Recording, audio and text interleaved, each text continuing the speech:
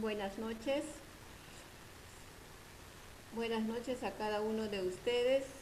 Bienvenidos a, una nueva sesión. ¿no? Buenas noches, profesora. nuestro curso que es comunicación oral en la educación superior. Muy bien. ¿Ustedes cómo están? ¿Alguien puede hablar? ¿Alguien puede saludar? Profesora, buenas noches, ¿me escucha? todo el grupo.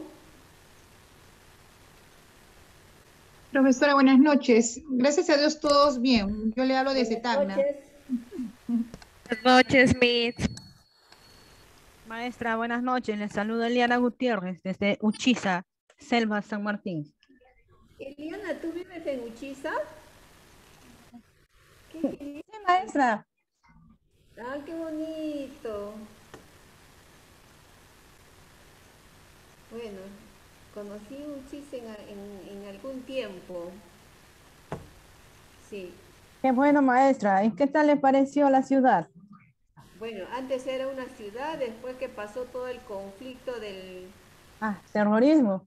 Del narcotráfico, terrorismo, quedó hecho, creo, un poco devastado, ¿no? ¿Y ahora cómo está? Maestra. Y ahí, ahí como se puede, surgiendo. Mis buenas tardes, compañeros, buenas tardes. Buenas tardes, ¿cómo está? Ebony, muy bien.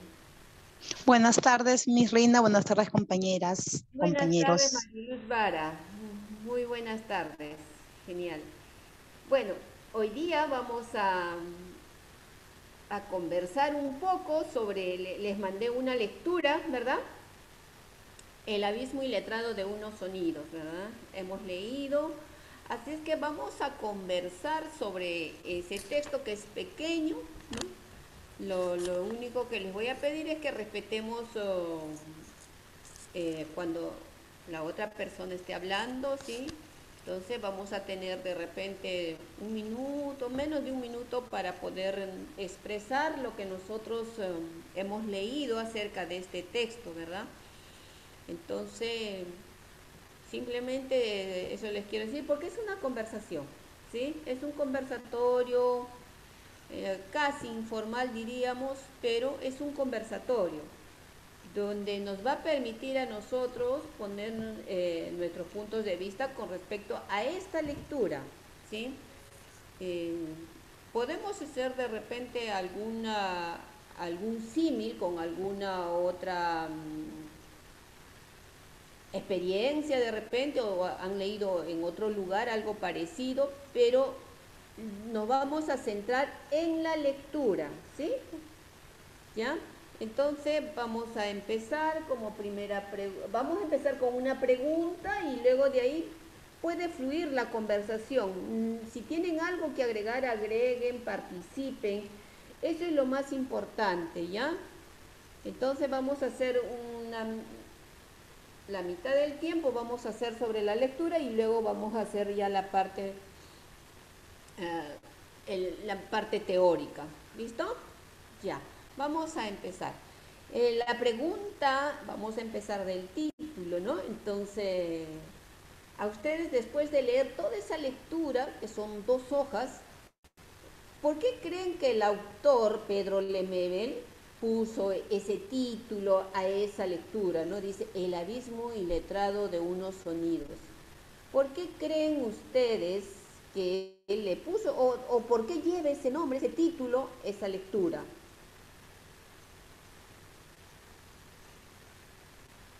Por si acaso no es una evaluación, ¿ah?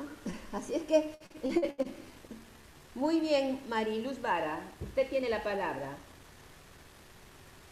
A ver, Miss, eh, por lo que yo he entendido, eh, le puso pues este nombre, mm, ¿no? El abismo iletrado de unos sonidos, porque uno como ser humano, primero em, transmite la comunicación a través de la voz, ¿no? A través em, de la comunicación oral, luego a través pues eh, de las mímicas, de los gestos corporales.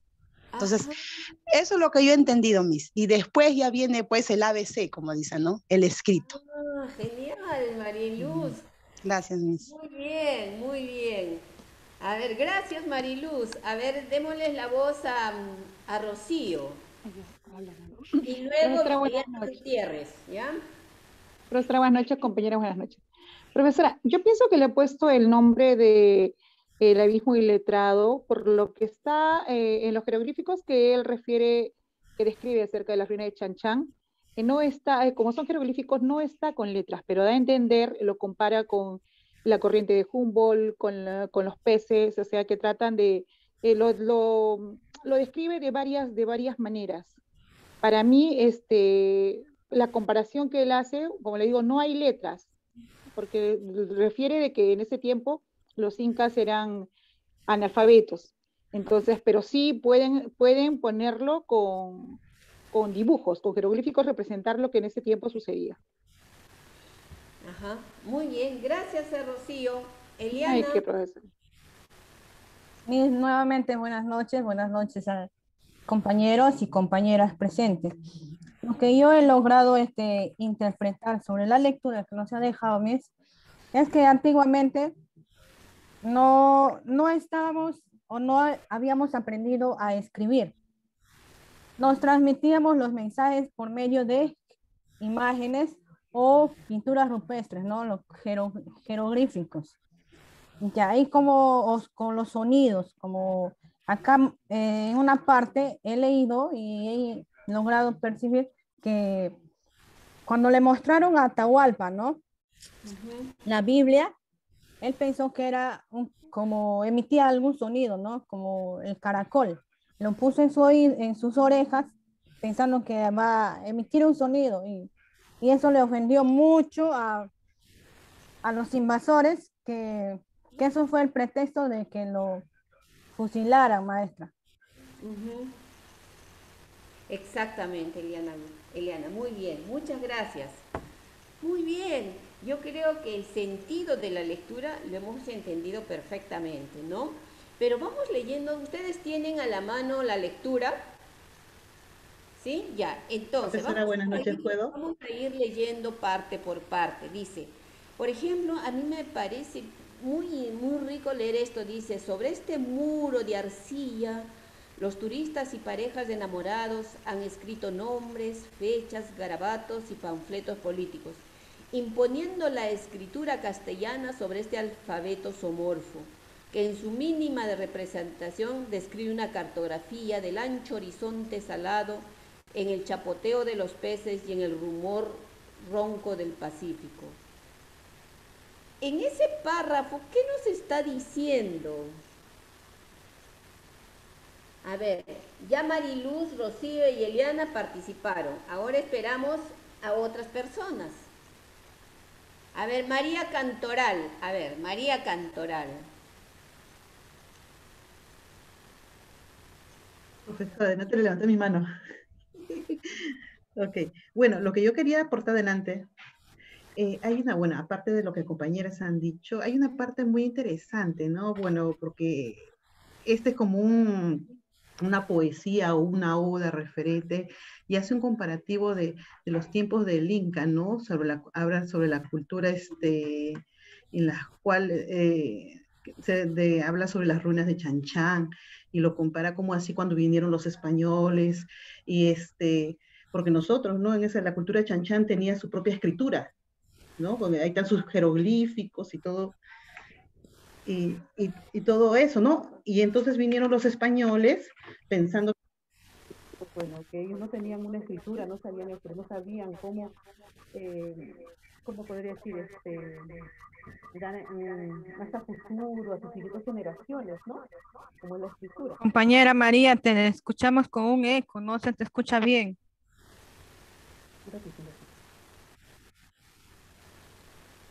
Ahora sí.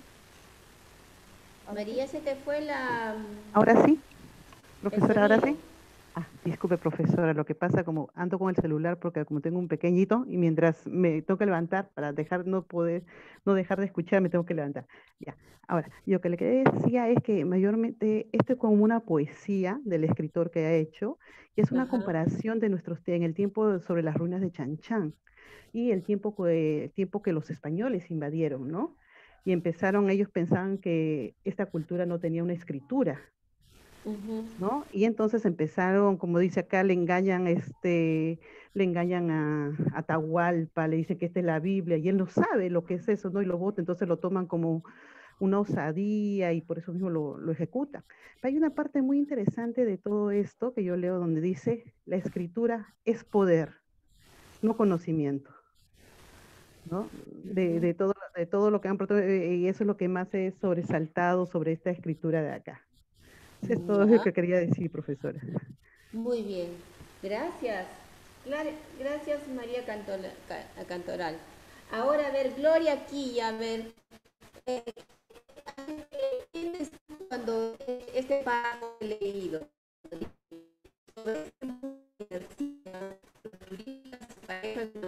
han escrito nombres, fechas, grabados y panfletos políticos, imponiendo la escritura castellana sobre este alfabeto somorfo, que en su mínima representación describe una cartografía del ancho en el chapoteo de los peces y el humor ronco del Pacífico. ¿Qué entiendes, María, eh, Gloria?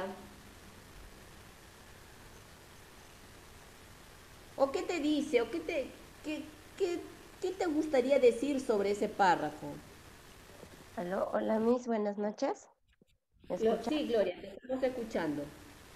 En esa parte nos dice, por ejemplo, un par de enamorados que por ejemplo, uno vivía lejos, otro vivía lejos, se mandaría una carta o por sonido se comunicaban, ¿no? Mm, ya. A ver, alguien más, a ver, vamos a ir llamando. Elvira Maita.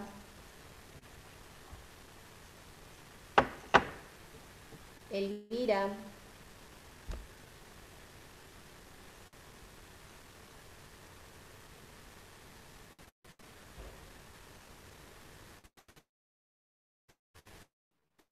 Sí, mi.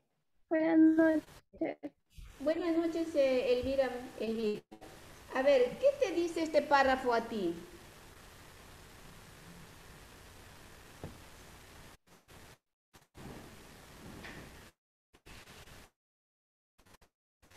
¿Tienes la Elvira.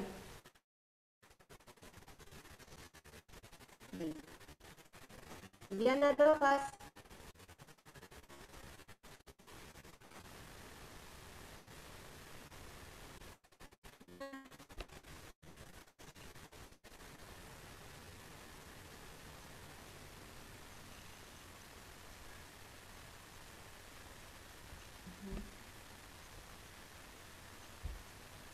Dávila.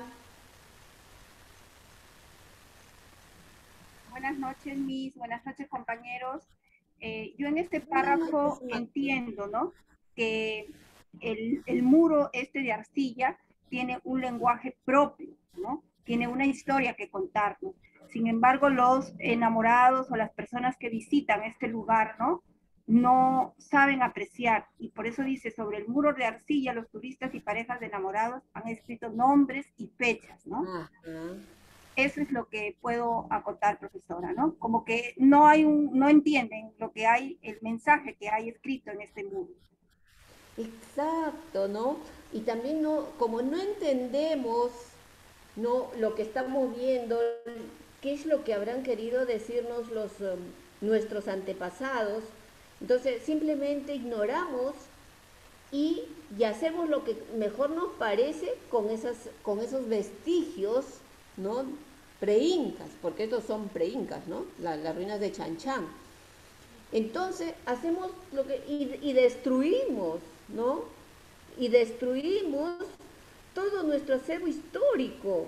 Entonces, antes de dejar que para que los eh, historiadores, los antropólogos puedan mirar e, en esos vestigios, ¿no? en las ruinas de Chanchán, puedan mirar que los antiguos peruanos querían expresar, ¿no? entonces vamos, destruimos, no respetamos, ¿no? Entonces, se, acá describe, dice, una cartografía del ancho horizonte salado, o sea, en, en, esas, en esos muros, nos habla cómo era el mar antes, ¿no? Cómo era el océano, cómo eran los peces, ¿no? Ellos cazaban peces, hacían con ellos, ¿no? Y el rumor del Pacífico, o sea, cómo era todo eso, cómo vivían ellos anteriormente junto a ese mar, junto en las costas peruanas, ¿no? Simplemente destruyendo y vamos eh, dejando sin, sin y nos vamos quedando sin pasado, sin leer un pasado, ¿no? Entonces toda, toda nación necesita saber qué es lo que ha pasado, qué es lo que ha sucedido antes, para ver de cómo nosotros hemos ido progresando y tener esa ciudadanía que hoy somos, ¿no? O sea, ese país que somos hoy día, ¿no? Porque la historia, como dicen, no se, hizo para, aprender solamente la historia y los hechos históricos. La historia se, se debe aprender, debemos aprender a leerla para nosotros comprender por qué estamos en eso y qué debemos hacer para el futuro, ¿no? Muy bien. Así es, profesora, nos da identidad, ¿no? Ajá, claro, es parte de nuestra identidad, ¿no? Y hoy día muchos eh, hemos perdido esa identidad, ¿no? O sea, no nos queremos um, eh, identificar con aquellas personas que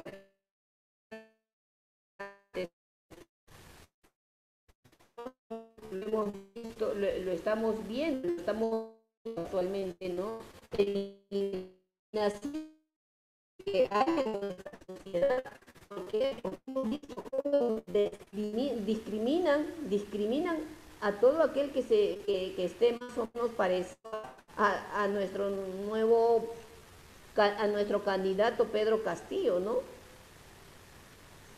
¿No es cierto? Entonces nosotros tenemos que saber mirar, tenemos que saber identificar, reconocer y sobre todo valorar ¿no? valorar lo que fuimos antes para poder saber de dónde venimos, ¿no? de, de dónde salieron todas nuestras costumbres, nuestras formas de ser.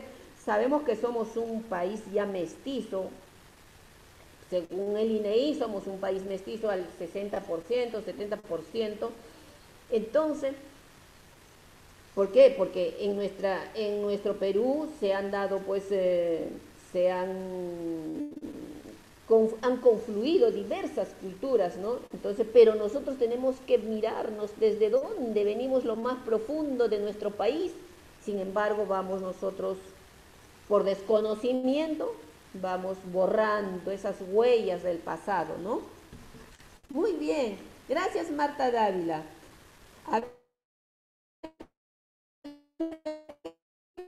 Llamado la atención Isaida.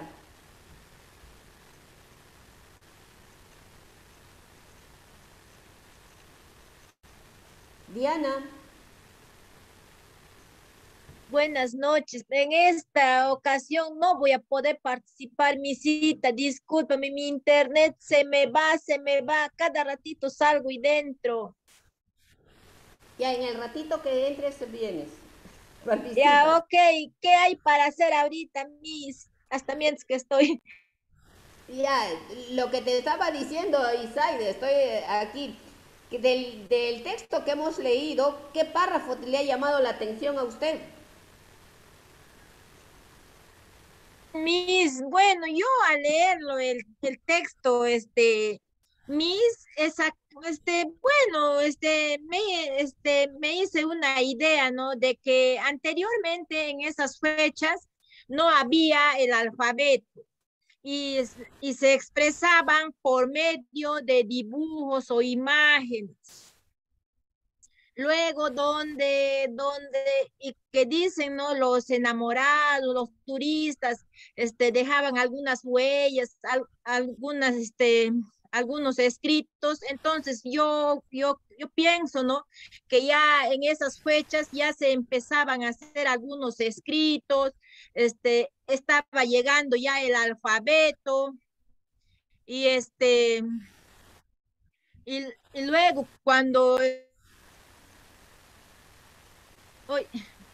y luego, luego cuando habla ya de este, estos, este, ahí expresan ¿no? cómo ha llegado el, el alfabeto. ¿Me escuchan, Miss? Por supuesto, te estoy escuchando. Ah, ya, entonces, entonces continúo.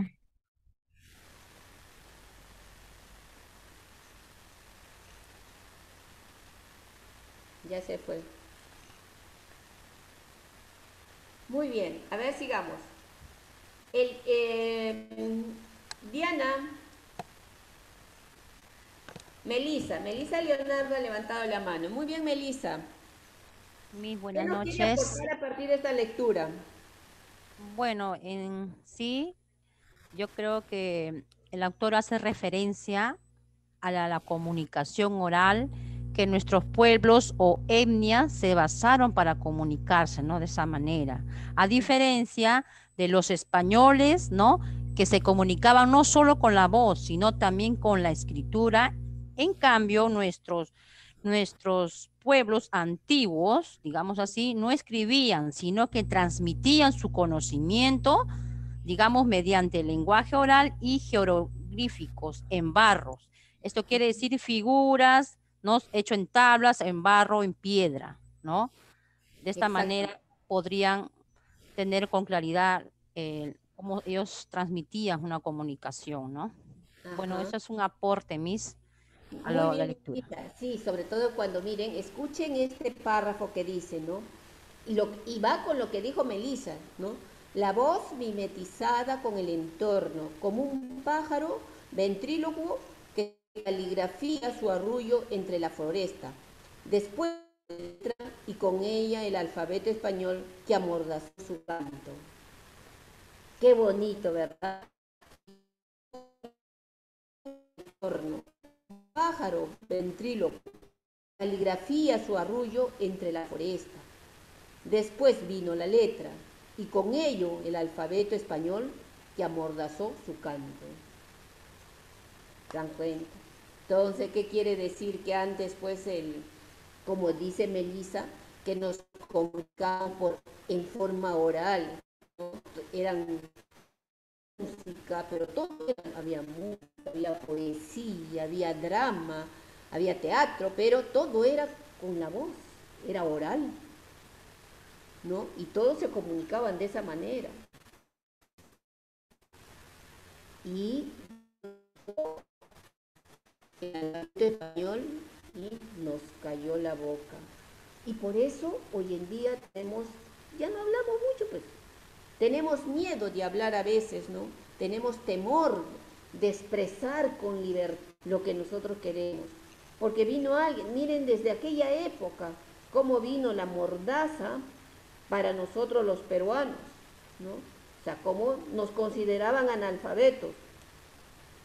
¿Por qué? Porque no sabíamos escribir y nuestra lengua no tenía escritura, pero la expresamos de alguna manera escribíamos de acuerdo a nuestra a lo que nosotros habíamos construido, nuestra forma de comunicarnos, que era aquellos petroglíficos. ¿No? Entonces, un dibujo significaba muchas cosas, ¿no? Y vino la y, la escritura, y ahí nos quedamos amordazados. Entonces fue una ¿no?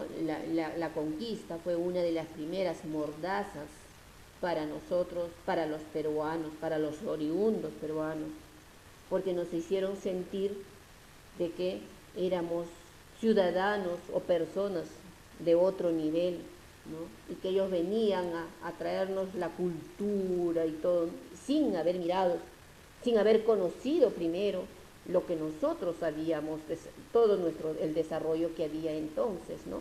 Si miramos, si leemos historia, hay que leer historia para saber eso, ¿no? Entonces, hasta hoy en día, hoy en día seguimos todavía mm, recibiendo esa parte que nos discrimina, ¿no? Entonces, eso es lo que nos quiere decir en este, en este texto. A ver, sigamos, miren qué bonito, ¿no? Qué bonito. Ese párrafo. A ver, Ebony, ¿a ti qué otro párrafo a ti te ha, te ha, te ha gustado, te ha llamado la atención o que te ha interesado con respecto a, la lectura? Buenas noches. Hay un párrafo que dice, ¿no? El habla y la risa en el rumoroso tumbar del corazón andín. Entonces, eso nos quiere decir, ¿no? Que antes las personas de ese entonces, para ellos era importante cada uno de los dibujos que, que realizaban en esos murales, llamémoslo así, porque tal vez querían expresar también el amor que sentían entre parejas, la comida que, que, ellos esto, necesitaban para alimentarse y también de repente a quienes ellos lo tenían como, como dioses, ¿no? En este caso sabemos que eh, eh, tenemos en, el mismo Trujillo está la huaca de la luna y el sol. Entonces, para ellos, todos esos seres omnipotentes eran principales para su comunidad, ¿no? Incluso usted menciona, ¿no? De que, en, bueno, era un lenguaje no verbal, ¿no? Pero eh, a, raíz de eso, el Perú es tan rico en diferentes lenguas indígenas, ¿no? Tenemos el quechua, el aymara, el axeninca, bueno, y, infinidad de, lenguas, pero es por qué, porque creo que se han ido, han pasado todo un proceso a través de la comunicación no verbal que existía en ese entonces. Esa es mi aportación, mi cita. Muy bien, Evany, muy bien, genial. Entonces vamos a ir, vamos a seguir... Em, nosotros con la lectura, lo que dice Evan y dice, entonces los códigos orales se hicieron gritos de alerta para prevenir a las tribus de la invasión extranjera. Fueron sonidos de olas en las cumbres a través de los pututos o caracoles marinos, especie de que transmitían la voz de alarma todo el Tahuantinsuyo. Imagínense todo lo que ellos utilizaban, ¿no? Todos aquellos em, eh, instrumentos que utilizaban para comunicarse. El sonido de un pututo. ¿Cómo sabría sonar para decir eh, ayuda, auxilio, ¿no? O nos están invadiendo, hay que unirnos. ¿Cómo serían esos sonidos, su lenguaje, ¿no? Musical que ellos tenían para poder eh, comunicarse, ¿no? Entonces, qué bello era el lenguaje oral y la importancia que tenía, ¿no? O sea, la escritura llegó, sí, pues llegó la escritura, pero también nos hemos olvidado con la escritura esas formas de, comunicación. Y es bueno nosotros recuperar pueblos del, del interior, ¿no? de esa zona, de la zona andina, de la zona amazónica, todavía tienen.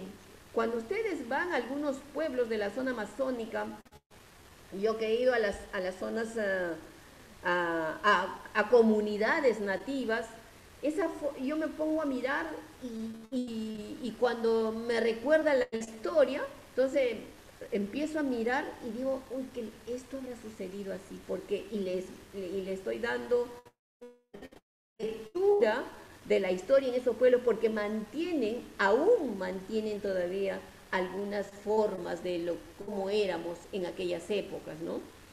Entonces, miren, pasando a la escritura. Pero eso no significa de lado todo todo lo que nosotros eh, habíamos, ah, todo lo que la forma de comunicarse anteriormente, ¿no? Ahora, nosotros para nosotros mismos de sentirnos uh, orgullosos de pasado, ¿no?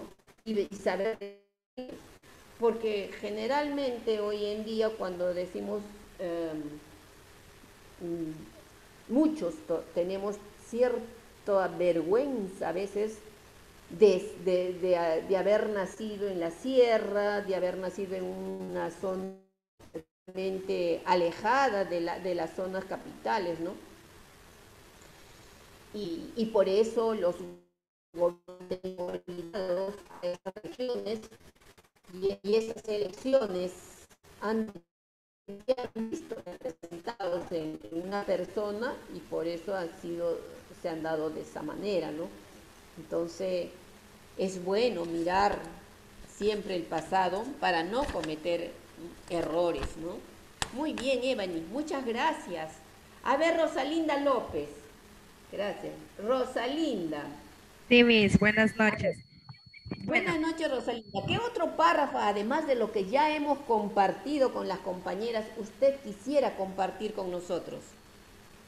Bueno, hay una parte en esa misma que leyó al principio donde dice, los o murmullos entre dientes que cuchichean hoy las indias en las aduanas de las fronteras, si la veo imprecisos que ponen nervioso como loras partoleando en media, en media lengua bueno, eso lo que me da a entender es que nuestros antepasados, así sea un simple chisquerrido con los dientes, era una forma de comunicación que tenían ellos, al igual de utilizar diferentes instrumentos como son los fututos, los caracoles, donde nos, nos muestra que la comunicación iba más allá de, de un simple grito o de un simple llamado de auxilio, sino que ellos buscaban la manera, y como dice más abajo, de que su grito se mezclara con el entorno y de esa manera llegara con claridad el mensaje que ellos querían. Gracias, Rosalinda. Dice, miren, qué bonito, ¿no? Qué bonito es hablar de nuestra, de nuestra, de nuestro, de nuestra historia. Y estamos hablando de comunicación, ¿no? Dice, voy a leerles este otro párrafo. Dice, ciertamente, estamos apresados por la lógica del alfabeto. ¿sí? La instrucción nos lleva de la mano por la senda iluminada del ABC, del ABC del conocimiento. Pero más allá del margen hay un abismo iletrado, una selva llena de ruidos, como feria clandestina de sabores y olores y malas palabras que siempre están mutando de significado, de significado. Palabras que se pigmentan solo en el corazón de quien las recibe. Sonidos que se camuflan en el pliegue del labio para no ser detectados por la escritura vigilante. Qué bonito. A ver, ¿quién podría haber Betsabe, a ver, Betsabe. Betsabe, a ver, ¿qué te dice este, párrafo a ti?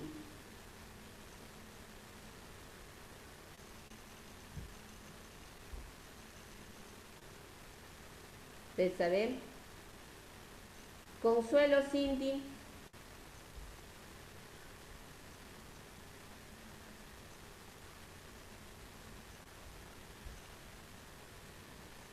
Dayana Dusar.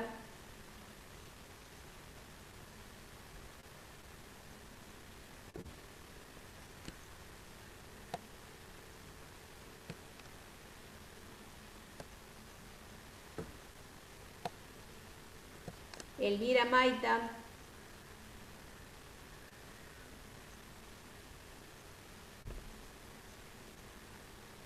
Enrique Daza. Elvira.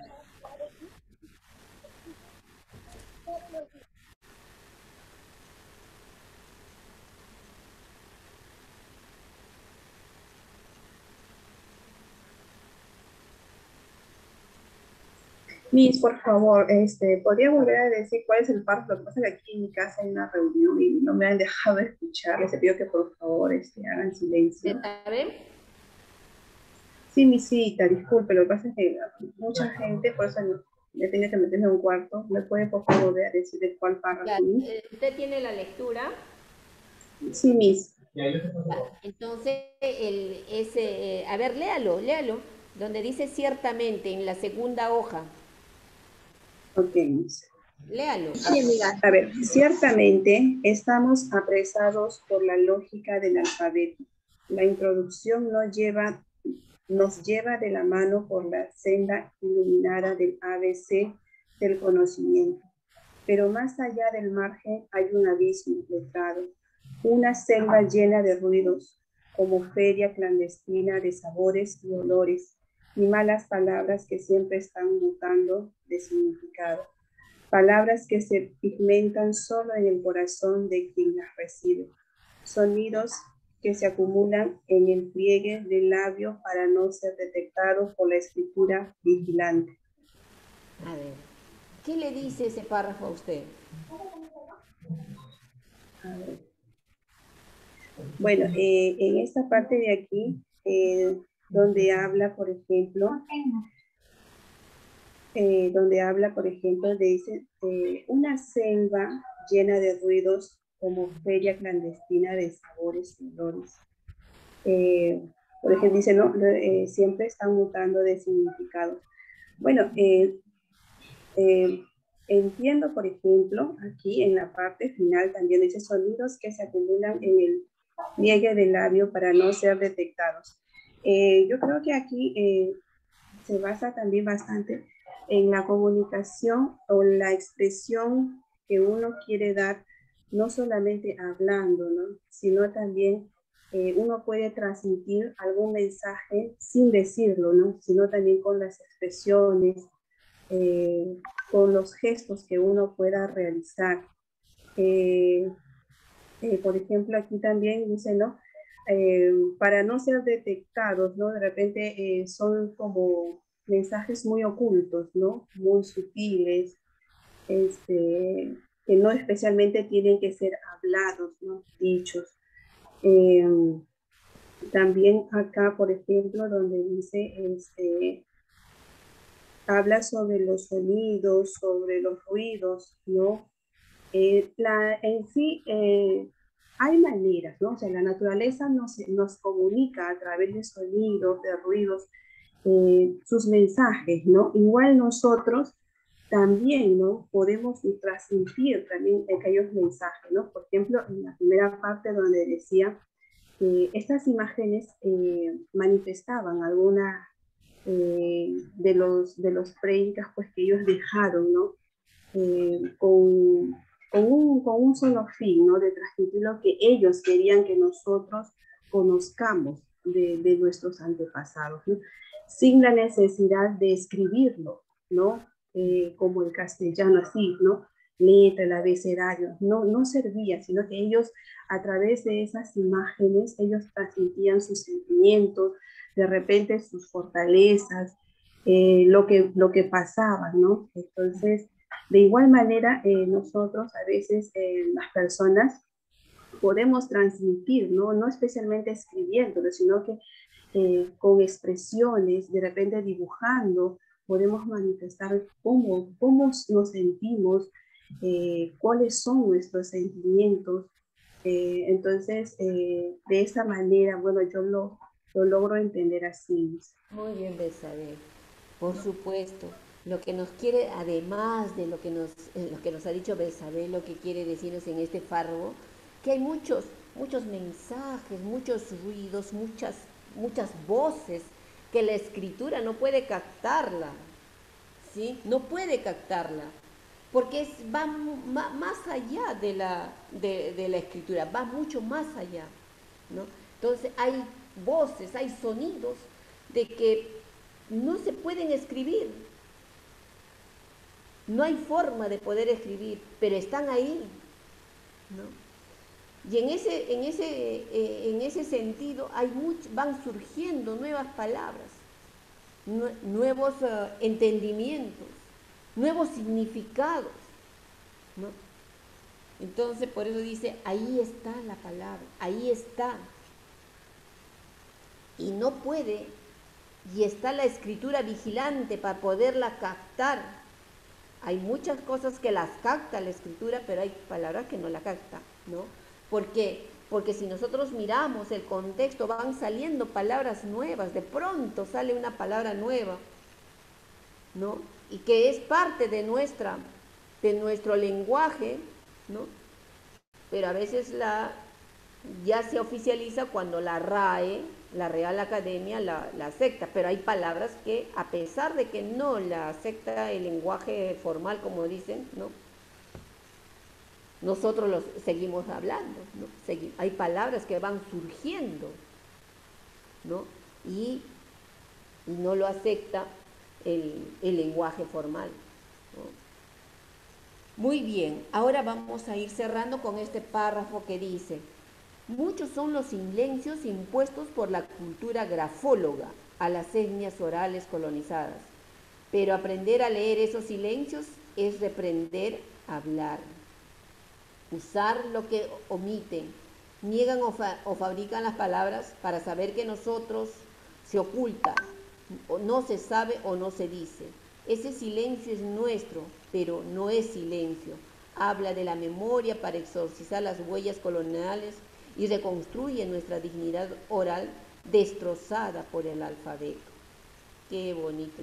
Habla de la memoria para exorcizar las huellas coloniales y reconstruye nuestra dignidad oral destrozada por el alfabeto. Cuánta historia, ¿no? Cuántas, uh, cuántos mensajes, cuántas situaciones se habrán quedado en el camino que la lengua, que el lenguaje castellano no ha podido captarla en su totalidad, ¿no? O ese, o ese lenguaje que nos, que, que nos han traído, de repente hasta nos ha podido cambiar nuestra historia, ¿no? No sabemos, ¿no? Por eso están esos vestigios, como la ruina de Chanchán, está Machu Picchu, y todas las ruinas que nosotros encontramos, donde ellos, nuestros, nuestros antepasados, han grabado la historia. Y nosotros vamos destruyendo y, el y la lengua castellana, la lengua escrita, ¿no? Habrá captado en su plenitud todo lo que ellos, toda nuestra historia antepasada, la habrá captado, ¿no? Ahí nos queda la duda, chicos, ahí nos queda la duda, ¿no? ¿Será la historia que nos han contado? ¿No? Entonces, bueno, habrá que creer a aquellos historiadores, pues, que, que han intentado escribir lo más cercano, ¿no? Lo más cercano a lo que ha sucedido en aquellas épocas. Pero lo, más antiguo, ¿no? Eso es, habrá que seguir buscando la verdad sobre ellos, ¿no? Muy bien, chicas. Esta es parte de, del diálogo. Nosotros estamos trabajando lo que es la comunicación oral. Entonces, ¿qué tenemos ¿Cuál es nuestro propósito en, esta, en este curso? Es tener la, la competencia, desarrollar nuestra competencia oral, hablar. Hoy hemos hecho el diálogo, hemos hecho el, la entrevista, hemos trabajado el... ¿Qué trabajamos anteriormente, Eliana? Hemos trabajado en la entrevista, hemos trabajado El debate, Miss. El debate, muy bien. Ahora estamos trabajando un otro, otro tipo de, de estrategia donde nosotros tenemos la oportunidad de hablar. También hemos estudiado, maestra, el discurso. El discurso, ¿no es cierto? Gracias, Eliana. Estamos, tenemos que nosotros hacer, se aprende, se desarrolla haciendo. Entonces, la competencia oral, ¿cómo la vamos a desarrollar? Hablando. Por eso me, me causa sorpresa cuando les pregunto y no, no contestan, no responden, ¿no? Me, me, preocupa, chicas, me preocupa cuando no conversa, cuando no hablamos, no dialogamos. Entonces lo importante es que nosotros perdamos el temor de hablar ante otras personas y, y luego ya va a venir ya poco a poco vamos a ir nosotros informándonos de más cosas para tener mayor libertad de comunicar, de comunicarnos con cualquier otra persona, ¿ya? Muy bien, chicas, ahora voy, vamos a saber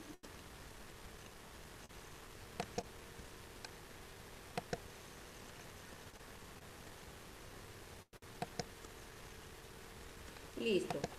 Hoy día hemos tratado, hemos hecho una conversación, ¿no? Hemos conversado sobre un tema sobre el abismo iletrado de unos, de unos sonidos. ¿no? Hemos hablado de cómo la comunicación oral pasa a una comunicación escrita. ¿no?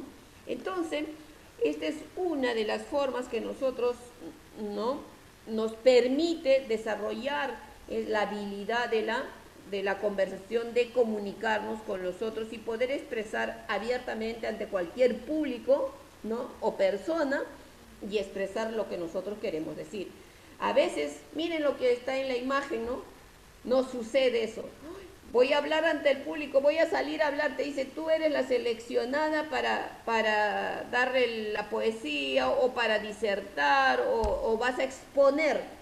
¡Uy, pánico! Empezamos a sudar, la boca se nos seca, mi corazón empieza a palpitar y comienzo ta, ta, ta, ta, ta, ta, en tartamudear, ¿no? Y nos morimos de vergüenza. Entonces, ese es porque no tenemos, pues, no, hemos desarrollado esa, esa, habilidad de poder conversar así con soltura, ¿no? Entonces tenemos que nosotros soltarnos, hablar, decir. Y te da la garrotera, maestra. ¿Perdón? La garrotera te da en ese momento. A veces nos da la garrotera, entonces mire todo lo que nos puede suceder, ¿no? Entonces nosotros tenemos que ir rompiendo con eso, ¿no? Para poder, eh, cuando lleguemos al, aula, uh, tengamos esa libertad de, de, poder dialogar de mil maneras con nuestros estudiantes, sobre todo, ¿no? Y engancharlos en el aprendizaje, porque si vamos a ir, niños, hoy día nos toca matemáticas, vamos a hacer la suma, la suma es 2 más 2, 3 más 3, o la multiplicación y así los aburrimos y los niños ya no quieren ir ni a la escuela, ¿no? En cambio, cuando nosotros nos sabemos comunicarnos con, fluidez, entonces le vamos diciendo le vamos contando los cuentos, le vamos haciendo una cosa, otra cosa, entonces vamos a tener, vamos a tener alumnos atrapados ahí en, en nuestra aula donde no van a querer ir ni a su casa, ni van a querer salir ni al recreo. Entonces, eso es lo que tenemos que hacer, ¿ya? Muy bien. ¿Qué es la conversación? Ya fácil, ¿no? ¿Qué hemos hecho hoy día? Hemos dialogado facilito, hemos conversado, nos hemos reído, ¿no? En confianza. Algunos habrán tenido miedo porque no me han contestado, ¿no? Han cerrado su, su micrófono y, decían, no, no, no estoy, tengo miedo, ¿no? Pero ya seguramente de acá a la siguiente clase ya van a estar más preparadas, ¿ya?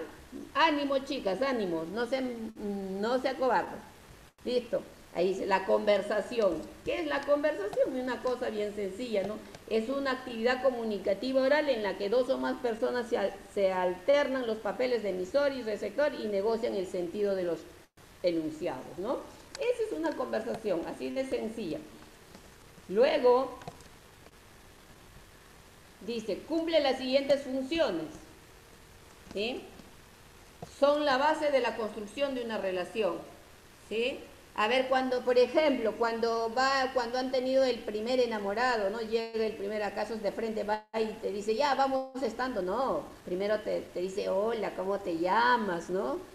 ¿No? Te, dice dónde vives, cuántos años tienes, te gusta la música. Entonces, ¿cómo es, no? Ese es un diálogo. Entonces, después ya poquito a poco va, se están poniendo rojitas algunas. Entonces, poquito a poco, y después ya caemos, bueno, pues, Después de que tanto nos ha palabreado, ya caemos. Entonces, miren, es la base de la construcción de una relación de, pareja, de, amigos, de, de, estudiante docente, ¿no? Entre dos intelectuales, ¿no? Se van conociendo y nace de una conversación, pero de una conversación que sea pues clara, ¿no? Por ejemplo, si yo, si alguien me quiere enamorar y viene y me dice, oye, yo quiero estar contigo y van, ah, jamás estaría con una persona así, chao, ¿no? Lo despido, tiene que ser una relación bien. Luego vamos a ver. Sirve para intercambiar información. Hoy día hemos conversado, ¿verdad? ¿Qué hemos hecho? Hemos, eh, eh, unos tienen una idea, otros tienen, o hemos contribuido a tener una mejor perspectiva sobre lo que hemos leído, ¿verdad? Uno aporta, el otro aporta y todos vamos construyendo una sola idea, ¿verdad? Entonces vamos intercambiando información. Dice, satisfacen necesidades participativas. Cuando dije la primera pregunta, levantaron la manito más de una, ¿no? Entonces, cuando es que despierte el interés, entonces todos queremos participar, ¿no? Entonces ahí ya vienen los acuerdos para hacer cómo debe ser esa participación, ¿no? Influyen en la conducta de los sujetos participantes, por supuesto. ¿Por qué? Porque cuando yo voy a conversar, ¿no? tengo que tener ciertos criterios, ¿no? Para llevar una, una conversación adecuada, armoniosa, ¿no? Ah, bonita, ¿no? Para que podamos entendernos, porque si va a ser una, una conversación donde va a haber personas que falten el respeto, ya pues pierde sentido, ¿no? Y no, y no se va a llegar a buen, a buen fin. Muy bien. Luego dice, hay tipos de conversación. Por ejemplo, la conversación espontánea, ¿no? Hay una conversación espontánea que sale de pronto, ¿no? Eh, tú estás yendo por la calle, alguien te dice, por favor, ¿me puede decir la hora? ¿no? O dónde queda tal calle, ¿no? Por ejemplo, esa es espontánea, sale de pronto, ¿no? Entonces, o, estás en tu casa, están almorzando y alguien hace, interviene de algo y los demás comenzamos a conversar. Esas son las conversaciones espontáneas, ¿no? Dice la forma más común y esencial que puede adoptar el intercambio verbal. O sea, lo que sale de pronto, ¿no? Luego también tenemos las conversaciones de tipo formal o académica, como la discusión, ¿no? Por ejemplo, lo que nosotros hemos hecho es parte de una discusión porque, porque hemos puesto punto de vista y luego hemos intervenido, unos dicen una cosa, otros dicen otra cosa. De repente podríamos haber, eh, si hubiera mayor participación, de repente empiezan ya, eh, a mí no me parece, o sí me parece, o estoy de acuerdo, no estoy de acuerdo, ¿no?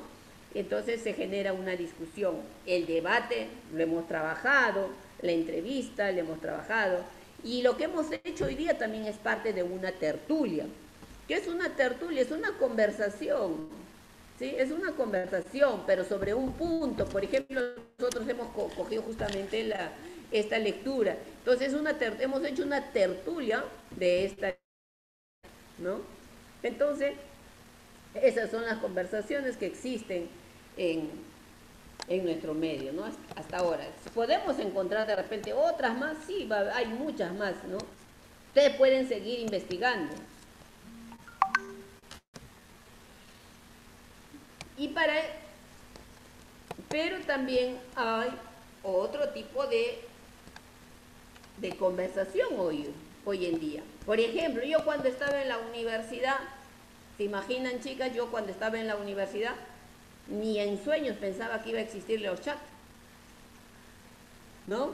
Entonces, hoy en día estamos, podemos chatear, ¿no? Chateamos, conversamos, ¿no? El, WhatsApp, por ejemplo, ¿no? Uf, expertas en el WhatsApp son. Los foros de discusión en Internet tenemos el foro, ¿no? Ponemos una pregunta y comenzamos a compartir ideas y todo eso. ¿Se dan cuenta? Ahora, ¿cuántos eh, el chat a través del Instagram, del Twitter, el Facebook, ¿no? Esos son medios. o sea, ¿quién nos ha traído eso? La tecnología, ¿no? La tecnología, los medios tecnológicos, ¿no? Ahora, por ejemplo, este medio, el que estamos ahorita, ¿no? Estamos así, en forma sincrónica, pero estamos conversando, dialogando a través del, de la del Internet, ¿no? De este medio, ¿no? Entonces, cuando yo terminé la universidad solamente había computadora, ¿no? Pero no, no, no, no, yo no imaginaba que podíamos llegar a estos niveles, ¿no? Y, de acá unos 10 años, imagínense lo que, lo que habrá, ¿no? Entonces, van cambiando esas formas de comunicarnos y nosotros tenemos que irnos adecuando a esas formas de comunicarnos con el respeto que tenemos que tener como, como en cualquier sitio, ¿no? En cualquier, en cualquier forma de, comunicación. Ahora, reglas para el diálogo, ¿no? Hay unas reglas, ¿sí? Entonces no vamos a ir pues eh, haciendo como mejor nos parezca, ¿no? Sin respetar al, con el que estoy dialogando, ¿no? Por ejemplo, dice, olvidar el egoísmo reconociendo la dignidad del otro, valorar al otro, erradicando el egoísmo. O sea, a veces somos tan egocéntricos, ¿no? Que solamente somos, queremos solo lo que, lo que, queremos hablar, ¿no? Y al otro no, dejamos ni participar ni, tomar la palabra.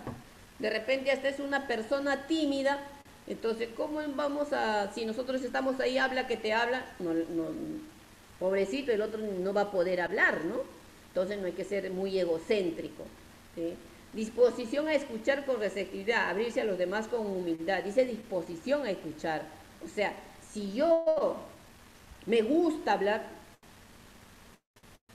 entonces debo aprender también a escuchar, ¿no? Porque si no dejo, si no dejo hablar a, la otra persona, entonces, ¿qué va a pasar? De repente todo lo que yo digo va a, va a caer pues en saco roto, ¿no? debemos aprender y desarrollar el escucha activa, ¿no? La escucha activa, ¿sí? Debemos escuchar para ver qué nos quiere decir o qué está pensando la otra persona, ¿no? Dar importancia a lo que el otro tiene que decir, reconocer que somos diferentes y valorar esas diferencias. ¿sí? Dice, ser tolerantes y erradicar males como el fanatismo, la discriminación y el irrespeto. Totalmente de acuerdo. En estas elecciones ha habido fanatismo, ha habido discriminación y nos hemos faltado el respeto como mejor nos ha parecido. Si ustedes leen los mensajes del Facebook, ahí ustedes se van a dar cuenta que lo que decimos acá, se, no los saltamos olímpicamente, olímpicamente, porque tanto, o sea, si yo voy a, yo estoy de acuerdo con una postura, tengo que tener mis razones y saber sustentar y argumentar por qué estoy de, de ese lado. Pero no llevarme hasta al extremo de no saber escuchar al otro lado. Porque tengo que saber qué piensa el otro lado. Entonces nos cerramos nosotros. Para mí esto es negro y, así me quedo, ¿no? Entonces ese fanatismo nos lleva a cometer actos tal vez no, mm, no previstos, ¿no? Por ejemplo, el día que, no sé si ustedes han visto el noticiero, no sé si lo han pasado también en el noticiero, el día que, el, un día antes creo del 24 de junio, ha habido se han enfrentado los dos grupos, ¿no?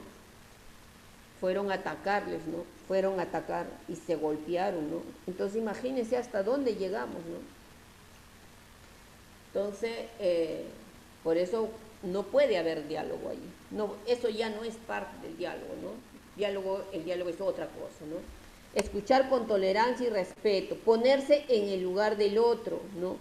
Entonces, cuando nosotros estamos conversando, dialogando, nosotros tenemos que pensar de qué forma tengo que decirle al otro, ¿no? Lo que quiero.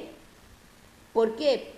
Porque tengo que ponerse en su lugar, yo digo, si le digo de esta forma, ¿cómo puede sentirse el otro? ¿No? ¿Cómo se va a sentir la otra persona si le digo de esta forma?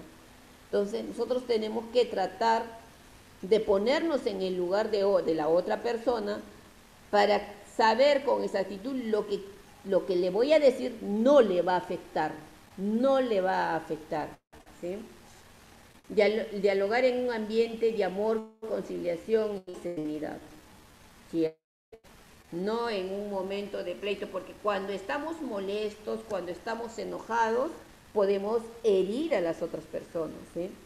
Podemos herir.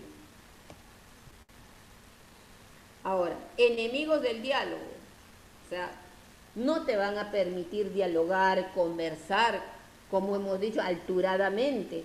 Por ejemplo, ser cobardes, el orgullo, ¿no? Uf, yo soy punto, yo lo que digo eso es cierto, nadie me puede quitar de, mi cabeza esto, nadie, ¿no? Entonces, orgullosa, egoístas somos, ¿no? Malgeniadas. Imagínense, yo me voy a conversar toda molesta con, con Mariluz, por ejemplo, voy, oye Mariluz, y Mariluz va, va a votar de, de su casa o de donde esté me va a cerrar todo. ¿Por qué? Porque no voy a permitir eh, dialogar, pues. Igualmente me voy, por ejemplo, con Eliana, ¿no? Voy toda malcriada, grosera. Eliana, ¿qué me va a decir? Mm, profesora, regrésese por donde vino, ¿no? Entonces nosotros tenemos que ser muy respetuosas, ¿no? No ser ofensivas, ¿no? Miren, no ser agresivas o agresivos, ¿no? No ser, no ser desconfiada.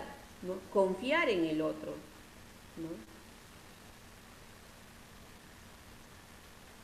¿Alguna pregunta? Rita, ¿usted tiene alguna pe- pregunta? Rita Cuña, ¿tiene usted alguna pregunta?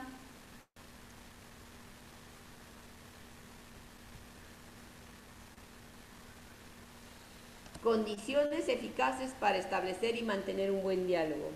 ¿sí? Esto, o sea, para mantener una buena conversación y que, la, y que no se vaya por, otro, por otro camino, la conversación que vamos a tener, entonces debemos tener en cuenta estas, eh, eh, estas eh, recomendaciones. Dicen, no interrumpir y tener paciencia. A veces, por ejemplo, cuando estamos conversando aquí, una persona está con, la palabra y hay otra que prende su, su micrófono ¿no? y interrumpe. Entonces eso no está bien, eso no va a permitir fluir la conversación. Evitar el uso de expresiones negativas, ¿no? Por ejemplo, a ver, mm, a ver, eh, ¿quién me puede dar un ejemplo de una expresión negativa? A ver, en este, en, este grupo, a ver. Consuelo, a ver. Consuelo Cinti.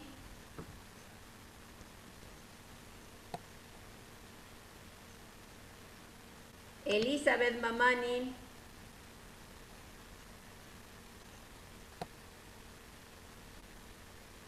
Enrique. Estela Talavera y Henry Cancino. Julie. Lady. Lilia. Bueno. Puedo llamar a todo el grupo y Profesora, ¿puede repetir la pregunta? No la he escuchado, disculpe. Misita, Eh, ¿Quién me habló? Ebony. Sí. Sí, Miss, dígame. de repente eso se puede dar, el evitar el uso de expresiones negativas, por ejemplo, de- tal vez escuchar a una compañera y decirle, no, ay, no entiendo por qué tienes que hablar así, ¿no? O por qué tienes que expresarte así. Claro, claro, Evani. Gracias. Gracias, Evani. Ok, Miss. Profesora, disculpe. eh, También podría, le habla Rocío, también podría ser, por ejemplo, eh, como a veces nosotras intervenimos, algunas compañeras intervienen más que otras, eh, una expresión negativa puede ser, oye, ya pues ya cállate, ¿no? Porque ya mucho intervienes tú, deja al resto de intervenir. Algo así, ¿no? También, Rocío, también. Gracias, Rocío. Claro, ¿no? Ay, Entonces nosotros estamos ahí renegando y, y Ya a le veces dijo, ya le dijo su verdad. Ya, pero sí, o no me digas. Hay forma, por Miss. de... Sí, A veces decimos, no, ay, no me dejan intervenir. Participa ella y ella y no, no me dejan intervenir. A veces es una expresión negativa, ¿no? Que Claro. podemos decirlo en público. Ajá, y pero Sí, podemos, eh, eso mismo podemos cambiar, ¿no? Eh, nuestro sentir, ¿no? Podemos hacerlo, sí, lo podemos hacer. Buscamos la forma más adecuada para que la otra persona que no se sienta mal, ¿no es cierto? Exacto. Entonces, muy bien, ¿ves? Así tenemos que trabajar. Saber preguntar, ¿no? ¿Qué, qué, qué- Por eso a veces les digo yo a ustedes, ahora pregunten o sobre, háganme preguntas sobre tal cosa, ¿no? Entonces tenemos que aprender a saber preguntar, ¿no? No atropellar, sino preguntar. No mirar el reloj. Así como me ven a mí, ya estoy mirando el reloj. Ya va a terminar la clase, decimos. No. O sea, cuando estamos conversando, no tenemos por qué estar mirando el reloj, porque si, cuando, si nosotros miramos el reloj, entonces el que mm, mi interlocutor va a decir, oye, este está apurado, ya se quiere ir. Nadie Entonces, no, o sea, a veces no decimos ya, vete, vete, vete, ¿no? O termina de una vez. Manifestar tu afecto, manifiesta tu afecto, dice, ¿no? O sea, tenemos que hacerle sentir bien a la otra persona, ¿no? Aunque no nos cae simpática, pero tenemos que hacerle sentir bien, ¿no? Entonces, ¿de qué forma? ¿Cómo hacerle sentir bien? O sea, con nuestra voz le decimos muchas cosas, con el sonido de nuestra voz decimos muchas cosas, ¿sí? A veces cuando estoy molesta, ya, ya se nota el rostro, ¿no? El rostro mismo eh, dice muchas cosas, ¿no? Estamos,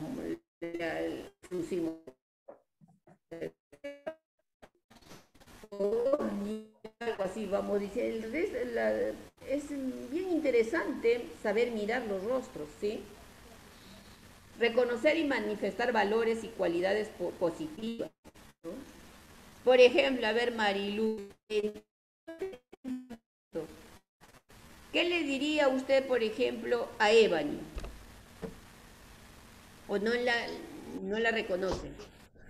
Sí, eh, mis, sino que la escuché un poco entrecortada. Me dijo, ¿qué le diría? ¿Una expresión positiva? ¿A eso se refiere? Reconocer y manifestar valores y cualidades positivas. ¿Qué le diría usted, por ejemplo, a Ebony? Ah, eh, bueno, mi compañera Evan, Ebony interviene oportunamente. Es, es una buena estudiante. Podría ser, Miss. Mire, Ebony, esa. A, eso. a ver, Ebony, ¿usted qué le diría a Eliana? A, Eliana, le, le, mi apreciación hacia Eliana sería de agradecimiento y también eh, que interviene oportunamente cada vez que usted pregunta. Ah, a ver, muy bien. Aplausos para, la, para Evan y para... ¿Y ustedes qué le dirían a Mariluz? A ver, Eliana, ¿qué le diría usted a Mariluz? Bueno, maestra, yo le diría a Mariluz que, que es una este, alumna muy aplicada, que interviene también, ¿no? Cuando sea correspondiente. Muy bien. Miren cómo nos vamos conociendo a pesar de, de estas circunstancias. Miren, ¿ah? genial. Muy bien. Y dice, para una conversación de lugar adecuado. Lugar adecuado. No es para una conversación formal, podríamos decir, ¿no? Puede ser para un debate, para una, para una tertulia, para una entrevista, sí, para eso sí tenemos que buscar un lugar adecuado, ¿no? Porque si la entrevista lo hago donde, donde muchas personas, por ejemplo, no voy a poder escuchar adecuadamente o la persona entrevistada no va a poder expresar, ¿no? Uh, con libertad lo que le estoy preguntando, ¿no? Y me puede mentir, ¿no? Entonces, sí, para las, entre, para la, las conversaciones formales sí tenemos que buscar ese lugar. Pero una conversación informal, ¿no? Surge en cualquier momento, ¿no? Entonces no voy a estar a ubicarse allá para conversar. Surgen, surgen los, uh, los espacios eh, para este momento, ¿no? Bien, entonces chicas, eso es lo que nosotros eh, el día de hoy he querido trabajar con ustedes sobre lo que es una conversación. Entonces, nosotros ya tenemos con esta sería la cuarta estrategia, la tercera, ¿no? La cuarta estrategia con respecto a lo que es la comunicación oral. Van a haber muchas, hay otras eh, estrategias también. Lo importante es que nosotros empecemos a desarrollar esa competencia, ¿sí? Por ejemplo,